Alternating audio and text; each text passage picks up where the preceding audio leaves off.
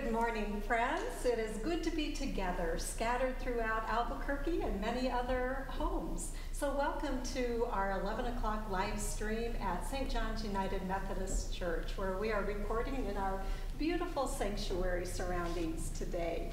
Today, um, we begin a new series on resurrection. This is also, being the first Sunday of the month, what we refer to as Family Worship Sunday. So today you will hear a few words from Therese McCauley, our Director of Children and Family Ministry. So gather the family together to hear a few extra words from Therese. And don't forget Parents Club, which meets Monday um, at 7.30 and Wednesday night Bible Club. So you can look on the eDisciple to find out how to connect with those uh, classes by Zoom. Also, Karen Tidler is leading a new Bible study. It's a book by Max Lucado called "You Get You'll Get Through This." So she is doing this Tuesday mornings at uh, 10 o'clock, 10 to 11, starting this Tuesday, May 5th. And again, look in the eDisciple to find out how to connect with Karen to take that wonderful class. We um, would like to thank you for the wonderful response to the survey that was sent out this past week. As of this morning, we have 287 responses. St. John's leadership team has been meeting weekly through these weeks of COVID 19. We are taking a look at many different factors and ministries of the church and the finances of the church. I'd like to let you know who exactly is on that team. I won't name the names, but the people associated. Your pastors are on that team. We have two of our staff representatives, Matt and Janice. And then we have chairs of committees, the chairs of trustees, finance, SPRC, and the foundation board. We have our church treasurer as part of that team, one of our lay leaders, and our church council chair. So this survey is about gathering information. We are not in a hurry at all, but we want to be prepared when that time comes. So we're looking at different um, phases of, and practical ways and healthy, safe practices. And this is just a way of gathering some information from our congregation. So if you have not yet uh, responded to that survey, we invite you to do so. If you would like to have a hard copy of it, just call Debbie in the church office and we'll make sure to send out a copy of that survey to you. So again, we are looking for information. And we are also in conversation with health professionals that are associated with St. John's. We are looking at CDC recommendations and recommendations of our governors so that we will make best decisions that are safe and healthy for all of us. And friends, today, before we begin our time of worship, um, we have a precious, precious soul who has entered into his heavenly kingdom home. This week, our beloved Joe Keep passed into glory. It was um, on Wednesday. What a gift he has been to St. John's and to the community and to the world. And our prayers are with Claudia and the rest of the family and all who loved Joe. Let's now take a breath to begin our time of worship.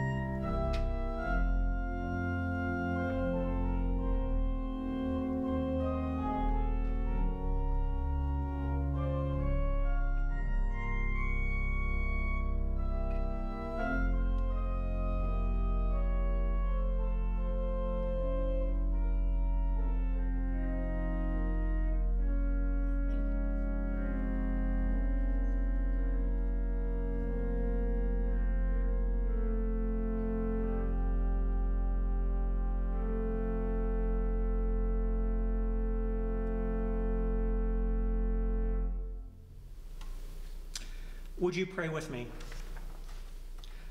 Almighty God, with gladness and thanksgiving, we gather in this space today. We gather to celebrate the resurrection of Jesus Christ as a symbol of your love and a sign of your grace. On this day, we are reminded that you have power over all circumstances in our own lives that may bind us and limit us. O oh God, you answer even before we call. You hear us while we are yet speaking. May all that we say, hear, and do in this hour of worship give honor to your name for the marvelous things you have done in Jesus Christ and in us. We give you thanks in Jesus' name. Amen. Would you join me in the responsive call to worship? Come, give thanks to our God. God's steadfast love endures forever. God is our strength and might and salvation. God's steadfast love endures forever. Because of this love, we shall not die. This is God's doing, and it is marvelous in our eyes. This is the day our God has made. Let us rejoice and be glad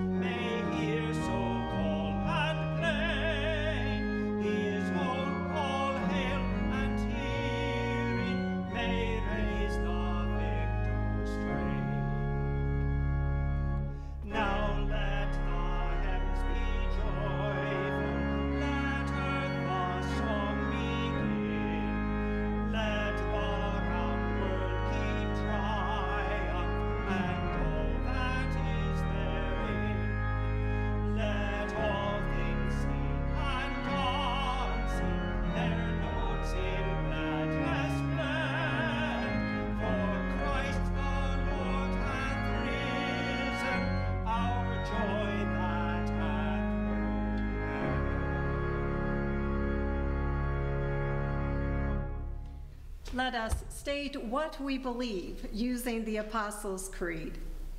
I believe in God the Father Almighty, creator of heaven and earth. I believe in Jesus Christ, his only Son, our Lord, who was conceived by the Holy Spirit, born of the Virgin Mary, suffered under Pontius Pilate, was crucified, died, and was buried. He descended to the dead. On the third day he rose again. He ascended into heaven, is seated at the right hand of the Father, and will come again to judge the living and the dead. I believe in the Holy Spirit, the Holy Catholic Church, the communion of saints, the forgiveness of sins, the resurrection of the body, and the life everlasting. Amen.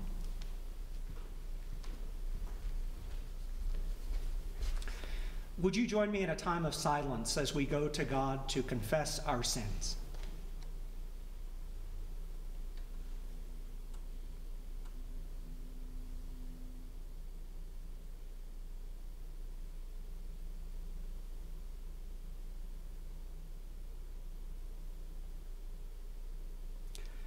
Wondrous God, we confess that at times our doubts and our fears override our hope and our faith. Forgive us when we lose sight of the joy of your love and instead fall into despair and gloom. Lift up our spirits, Lord, and help us to remember the promise of new life, new life here and now, not just the hope of resurrection for the future.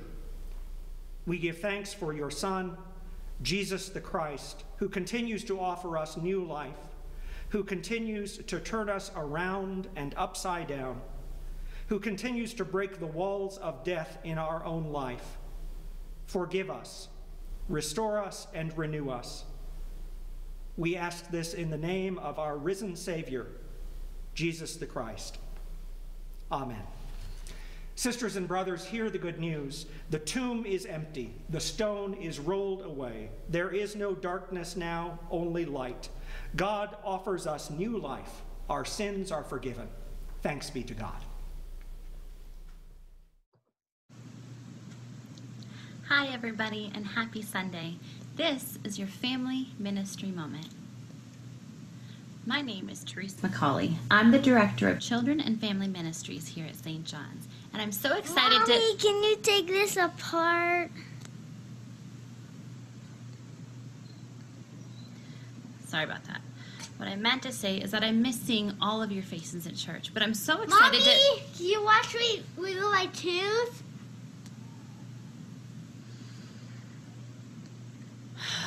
Okay. Therese McCauley. Family ministry moment. Take three.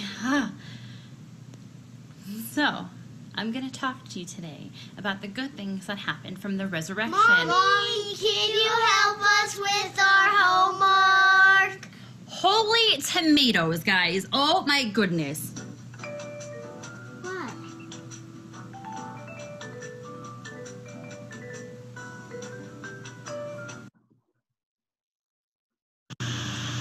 I'm sorry. I hate being interrupted. There is so much work that I have to get done, and I have to do the Sunday school stuff. I have to keep all of the parents connected as friends. I play piano, I sing, I'm going to school, and I'm being the best mom. And you would think that my kids would know to leave me alone, stop talking, and let me continue to work so that I can be the best mom ever. Sorry. Anyway, so I'm here to talk to you about the good things that happened after all of the sad and hard things happened at the crucifixion. So a little backup to this is that Jesus was living in heaven, and heaven is perfect. It has everything you want. You want angels singing to you? You got it.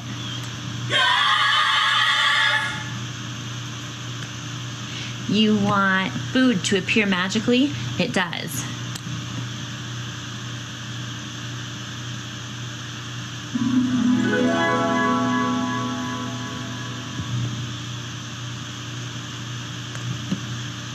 And Jesus is a big deal. He is a big deal on earth and he's a big deal in heaven. And those angels did anything that he asked. And then, oh, he was interrupted, wasn't he? He let us interrupt living in heaven so that he could come down, be born in a stinky manger, be beaten, and die for our sins. I don't like being interrupted, and I don't even live in heaven. I'm in quarantine. Oh, and speaking of quarantine, while you all are here and you have to listen to me, when is this quarantine going to end? They say it's going to be done on this date, and then they say, oh, wait, it's going to be done on this date, and then that's just like Jesus, too. You know, after he died, he could have just gone straight up to heaven. And I bet he could have really used a massage from the angels, but. Okay, so I just really like that sound. But he could have gone back to heaven, but he stayed on earth for another 40 days. And he wasn't even mad about it. He was happy to spend time with his friends a little bit more. He knew that the work that he had to do was so much more important. And he had so much more to teach us. And he wasn't even mad about it. He was happy to see his friends a few more times. I guess I shouldn't be mad about being interrupted either. I'm not the only one stuck in the house, and God gave us all important jobs to do, even if it is Legos. I don't know. Pastor Kelly is going to be sharing with us the important job that the apostles had to do once Jesus went back to heaven, and he set everything up for them perfectly. So many good things happened, and so many good things are still happening. Here's what the Bible says. the apostles were doing many miracles and signs, and everyone felt great respect for God. All the believers stayed together. They shared everything, they sold their land and the things they owned. Then they divided the money and gave it to those people who needed it. The believers met together in the temple every day. They all had the same purpose. They broke bread in their homes, happy to share their food with joyful hearts. They praised God, and all the people liked them. More and more people were being saved every day. The Lord was adding those people to the group of believers. Wow. God was blessing their lives, even though Jesus interrupted what they were doing. And he gave them new and important jobs. I guess the bottom line to remember is that good things happen when Jesus interrupts our lives. I'm going to interrupt this lesson and I'm going to go apologize to my family. Have a great Sunday, guys. Pastor Kelly has a great message for you, and I'll see you all next week. Bye. Thank you for those words of grace, Therese. I'd like to give um, just a brief update on our church finances. We are holding steady. Our April giving was down by about $30,000 from last April, but last April contained an Easter Sunday. Overall, year to date, we are $15,000 over where we were last year at the end of April. So that is a good thing. Um, while many churches are seeing a decline in giving, um, we are holding steady. In fact, I read an article this week that said 62% of churches in the United States are experiencing a, de a decline in giving. So we are so very grateful for your steadfast and faithful giving, continuing to be faithful in giving um, your tithe. And we invite you to consider also, alongside, um, over and beyond, extending that giving to social agencies um, of our community, such as Roadrunner Food Bank, who um, are helping to give so much help to people in great need within the community of Albuquerque. Thank you, thank you for your steadfast and faithful giving.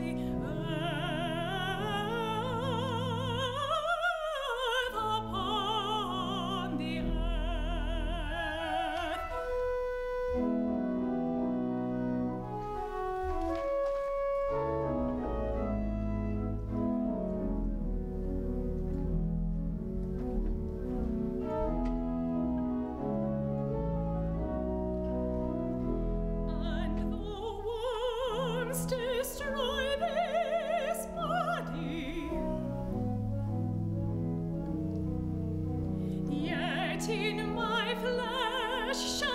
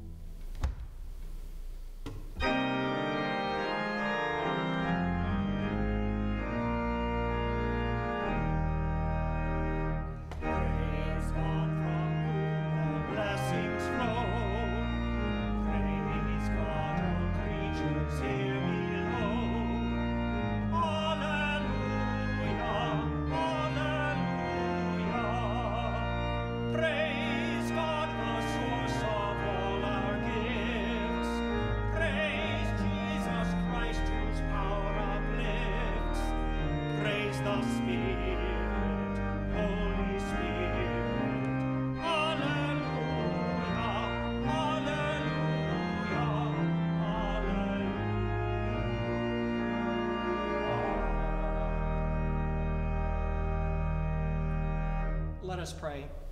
Holy God, you are the source of all good gifts. Receive these gifts from us. Let them be used to, to spread your love, your joy, and your mercy in a hurting world. Amen. Would you join us as together we sing hymn number 421 in the United Methodist hymnal, Make Me a Captive Lord?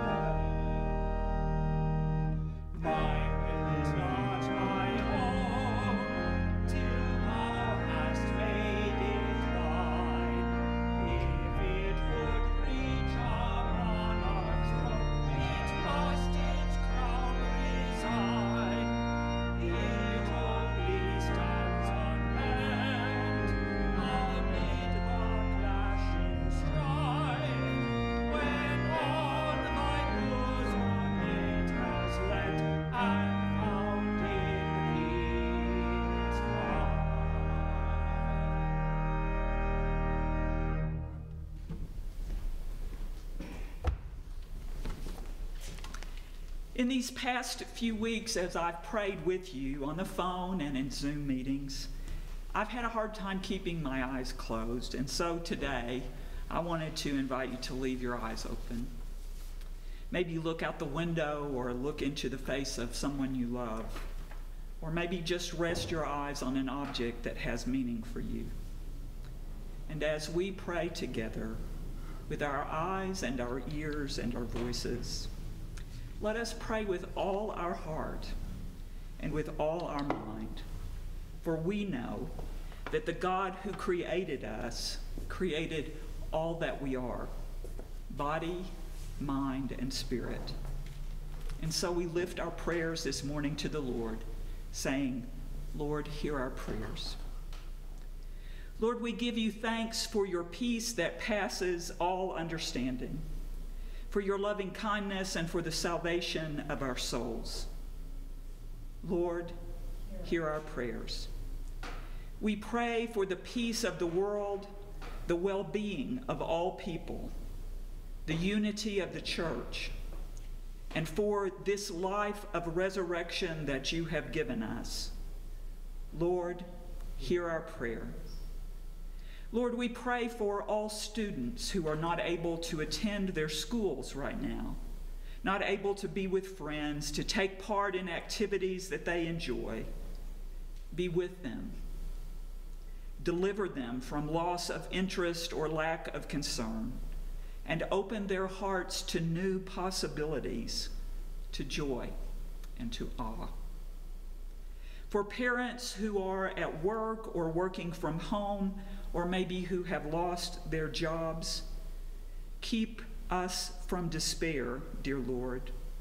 Deliver us from a lack of concern or interest. And for ourselves, create within us strong connections to you and to each other by the power of your Holy Spirit. Lord, hear our prayers. We thank you for the people of this congregation and this community, our neighbors, friends, and acquaintances, everyone, people who live alone, people who live together, for children, young people, and all those wise people who have a wider perspective than our own. Lord, we pray for the sense of the gifts of time and patience in this moment. And we also pray for any and for all who are impatient in these days. Help us to bear one another's burdens, to remember that you are slow to anger and abounding in steadfast love. Lord, hear our prayers. We thank you for the kindness and compassion shared by people who continue to work at the grocery store and the hardware store, at clinics and hospitals, for all of those who serve and protect police and firefighters, those whose services in the cities we could not do without, who tend our common good. We pray for their safety and health in the face of this pandemic. Give them strength give them rest. Be with them to combat their fears and protect them in what they do on our behalf. Lord, hear our prayers. For the leaders of all nations, all people in authority, that they may receive your wisdom and be engaged in cooperation, human rights, and goodwill for all. Lord, hear our prayer for this beautiful gift of creation. Give to us, Lord, a growing compassion for the earth, that we may put into practice your wisdom and your will for its care and conservation, and we might see how you are making all things new in it and through it. Lord, hear our prayer. For those in this congregation and in our families who are suffering in body, mind, or spirit, we lift up to you their names now. O Lord, our great physician. For all of those who have died in the hope of the resurrection, and for all the departed, for those that mourn and those that weep. Lord, hear our prayers. Deliver us from violence and danger and hardness of heart and anything that separates us one from another.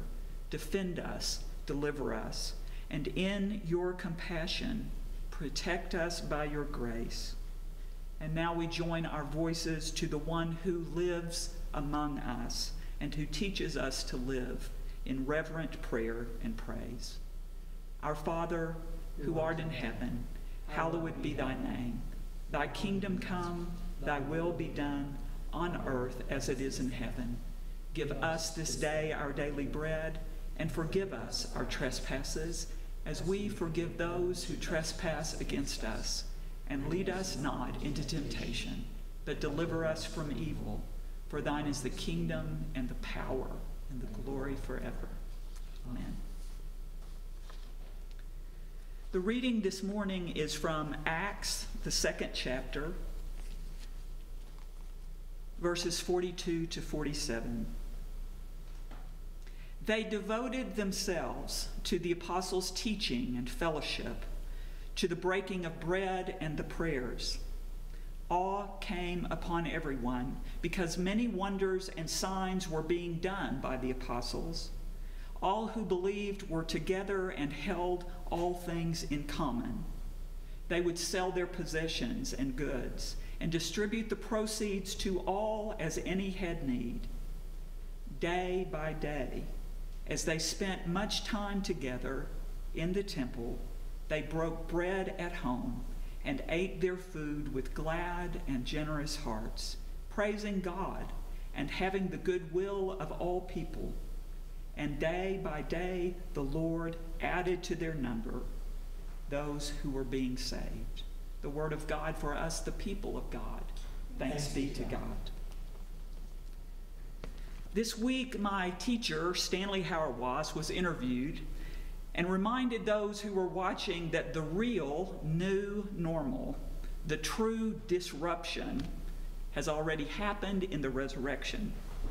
And now that we've had 2,000 years or so of attempting to understand it and to try to live into it faithfully, we continue to recite, On the third day he rose from the dead. And in doing that, we are practicing the kerygma, telling the story, proclaiming a truth that there is a life beyond this existence, and it is infused into our lives now resurrection. Over the next three through weeks, we will hear from some of the gifted storytellers of this congregation, ministers all. They will remind us again of the power of the resurrection and how we are called to practice it day by day, just as Luke tells us. He begins in this passage saying, They devoted themselves it tells us something about what it looks like when people have been sideswiped by the Holy Spirit. They have gathered as the first converts to welcome this message of Jesus risen from the dead. And they have heard, I suspect, or maybe been eyewitnesses to the Spirit descending upon them like the sound of a rushing, violent wind. This is a snapshot of people who are trying to practice resurrection. It took time.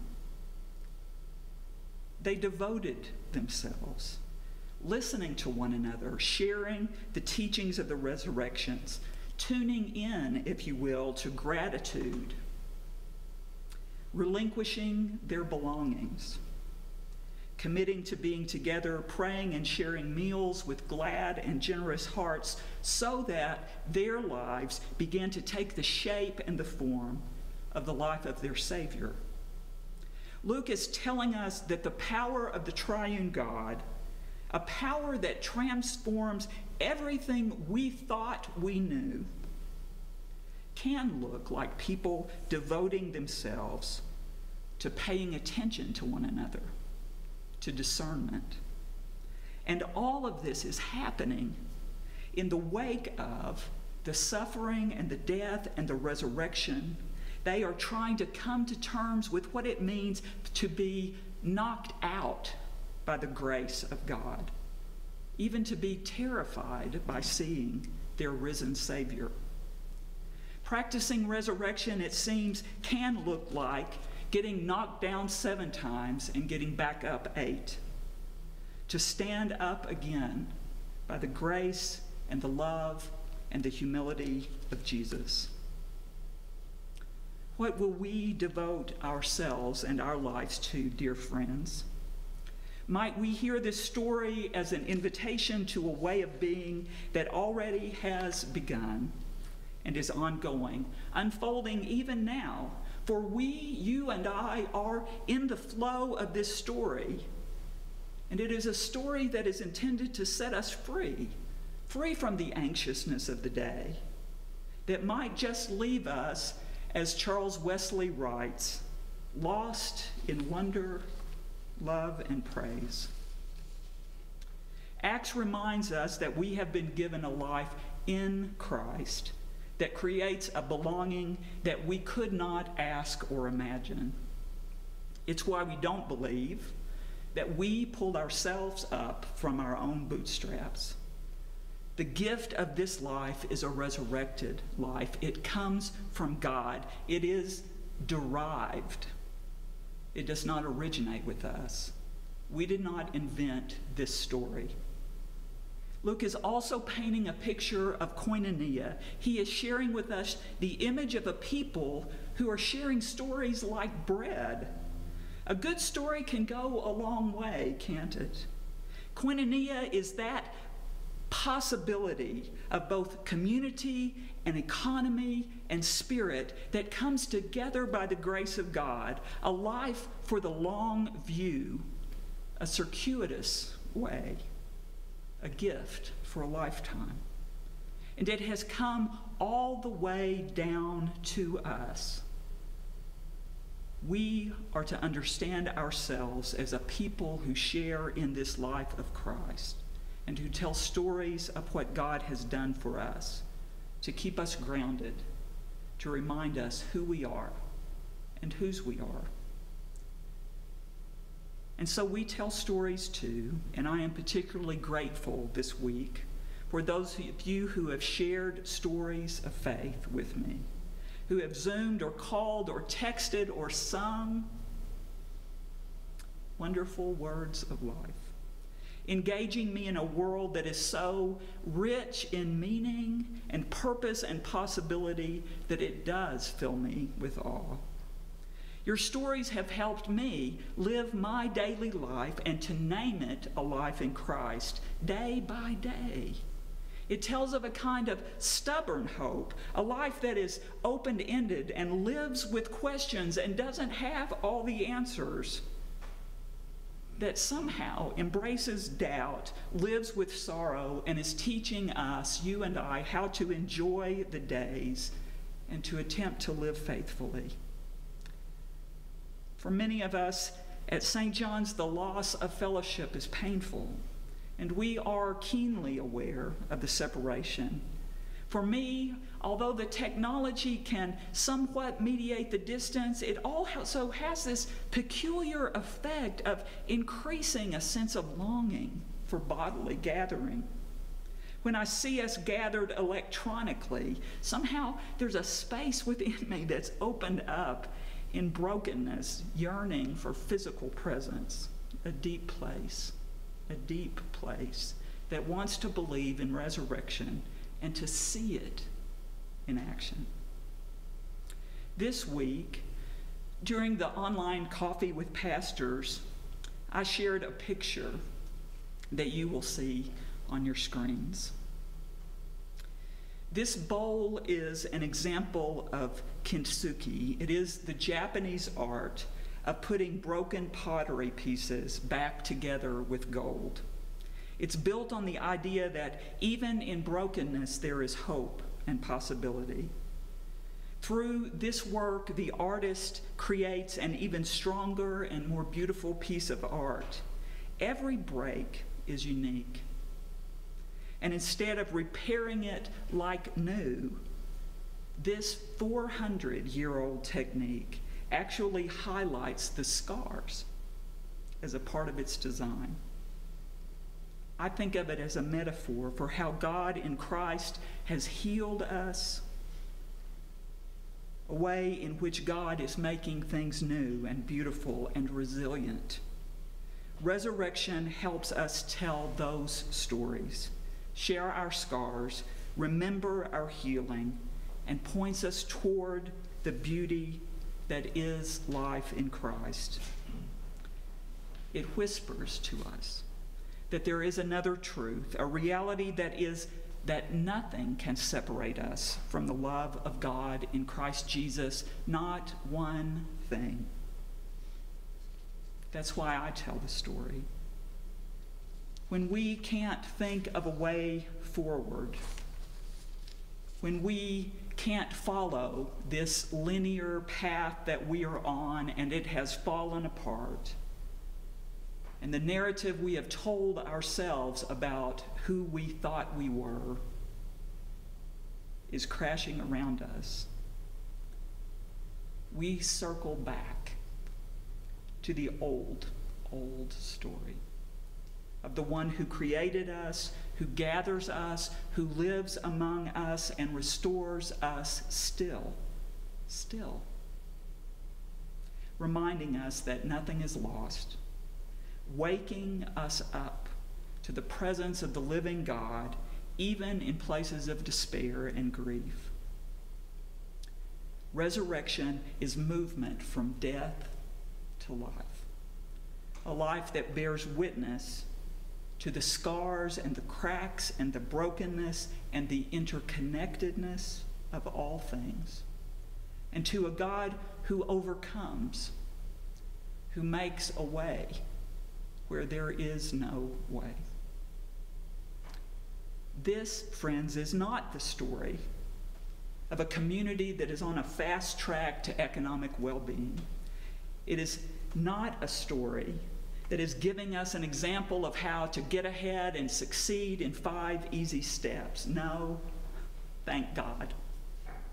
Instead, we are telling and hearing and living into a story that shows us how to live as people who are given time to be God's people. People who listen to one another, who struggle to believe and even doubt sometimes what they are seeing. A story of how ordinary people, like the disciples, like you and I, became the church people empowered by the Spirit and emboldened, even bewildered by the resurrection, who began to share their journey together beyond doubt, through fear, through loss, and even in the midst of suffering. It is a crazy kind of hope. This is our story. This is us living into the patient and curious hope of the resurrection, may we, you and I, be given the grace to trust it and to live into it. Amen.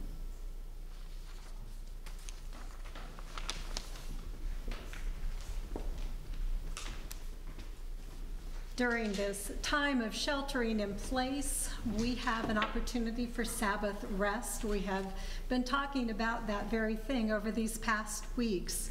We also have an opportunity as disciples of Jesus Christ to invite ourselves to look for the risen Lord around us and within us.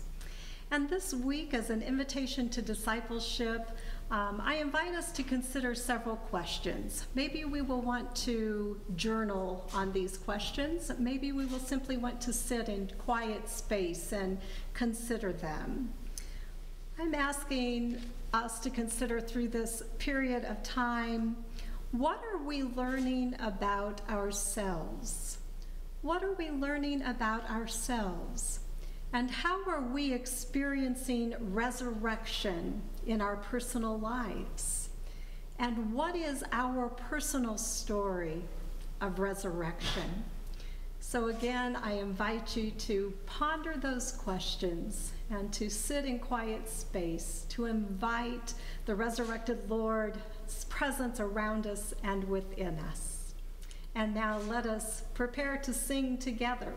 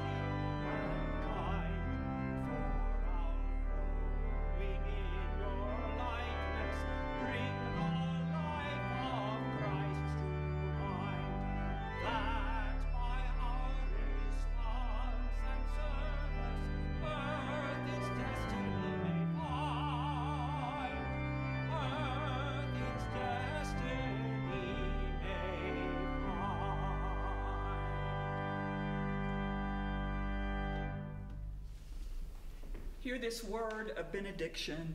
O Lord, disrupt our lives. Lead us to the practice of resurrection with patience and with passion. Amen. Amen.